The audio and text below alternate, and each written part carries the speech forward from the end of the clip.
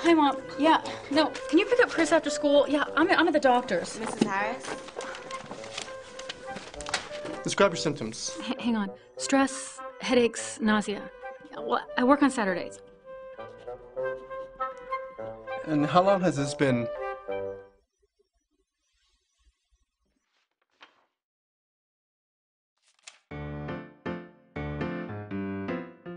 Equanimity. Balance your lifestyle.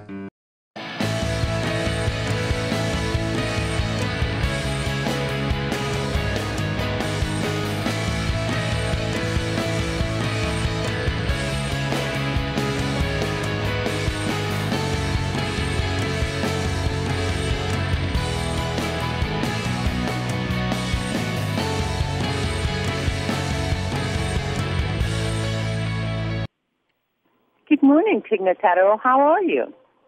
I'm, good. How are you? I'm so well. Thank you so much for joining us here. I'm so glad to be introduced to you, and I want my audience to know that you're a Grammy Grammy Award nominated star, and you're also the author of "I'm Just a Person." So thank you for joining us. Sure thing. Ah, you know, you've got some interesting things in your life. You've got this. What do we call it? A, a traumedy? I, I guess that's what people are calling it. Um, I think it's, you know, it's a half hour drama, comedy. I think there's a lot of heartfelt, emotional moments. And yeah, I'm, I think it's got a really nice tone to it. Okay, so is it a reality show of your life? Explain it to us. Uh, what's going on on Amazon Prime for those of us who don't have that Prime membership? It is not a reality show. It's uh, a scripted uh, TV series that I star in, and there are people that play characters from my life that are real or fictional, and it's um, it's based on a time period when I had cancer and my mother was dying, and uh, I was going through a breakup, and uh, I moved home to Mississippi to um, heal physically and emotionally during that time, and uh, and I kind of have to just get to know my family, my life, my surroundings in a whole new way after everything that's happened. And then beyond the first episode, my uh, story gets more fictionalized.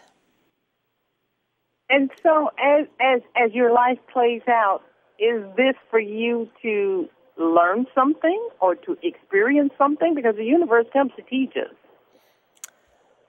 It is a show for me to learn something. Yes, for you.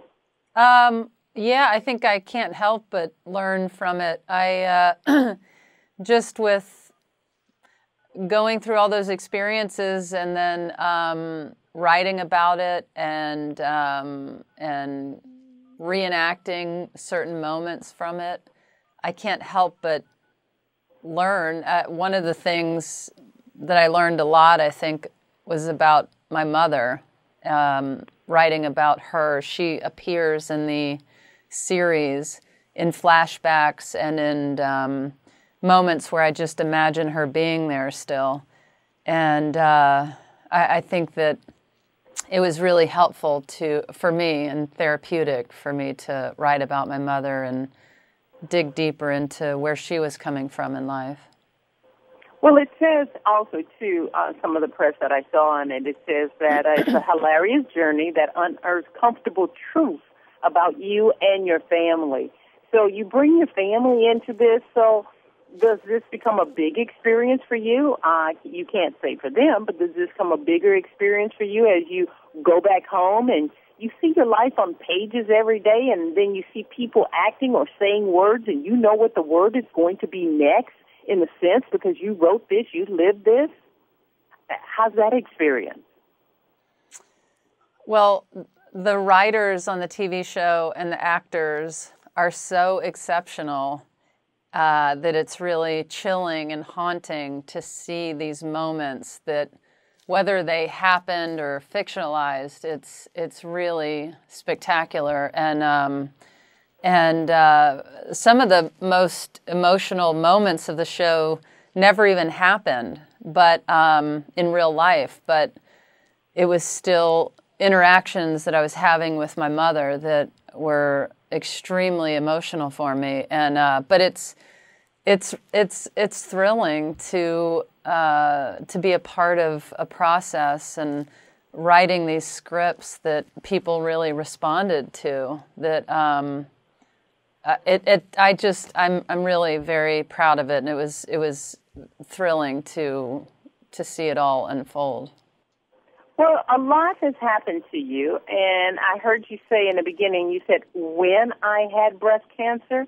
Tell me about that in your life when you had breast cancer.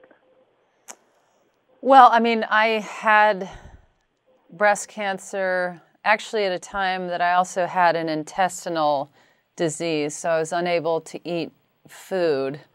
Um, and uh, it was it, was a really scary time because um, I was deteriorating and I didn't really see that I was going to live through that um, e- either of those things and um, and to have my doctor come in and tell me that my prognosis was good after surgery and going through my treatment um, and to be able to years later have a television show uh, when I'm happy and healthy and thriving is beyond what I could have ever imagined for myself.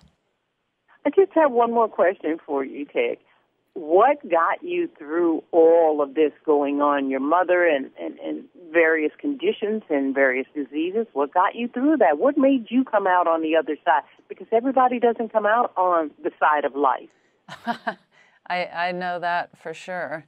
Um, uh, I, you know what? I, uh,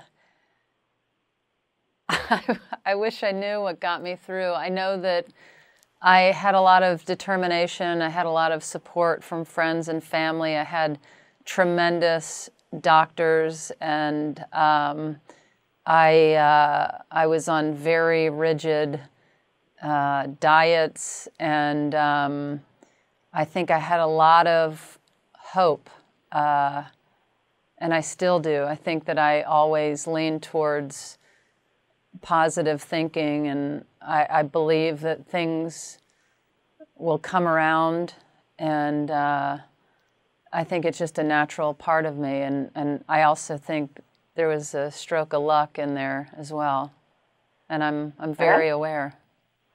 You're very aware. Well, you're on Amazon Prime, so you're doing pretty good there, I would think, at this moment in time. Yeah, I'm doing very well. I'm so glad that you're able to say that. I'm glad you're here to tell your story. And we will watch you on when? We know Amazon Prime. When do you want us to watch us? Is it at your at your leisure? Yeah, well, it it, it uh, premieres this Friday, September 9th, and you can watch all episodes. They all stream this Friday on Amazon. Okay, and the title of your show? One Mississippi. One Mississippi. Thank you so much. I really appreciate you coming on, Tanero. You are life embodied in the best of what we can all be. Thank you. Oh, thank you.